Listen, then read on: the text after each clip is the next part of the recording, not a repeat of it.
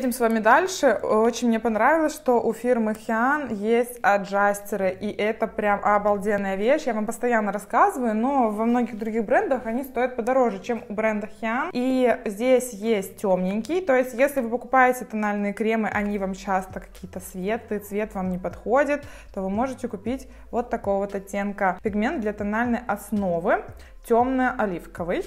То есть вот такой вот он. Я вообще очень люблю покупать самый светлый тональный крем для работы, а потом уже просто в него подмешивать пигмент.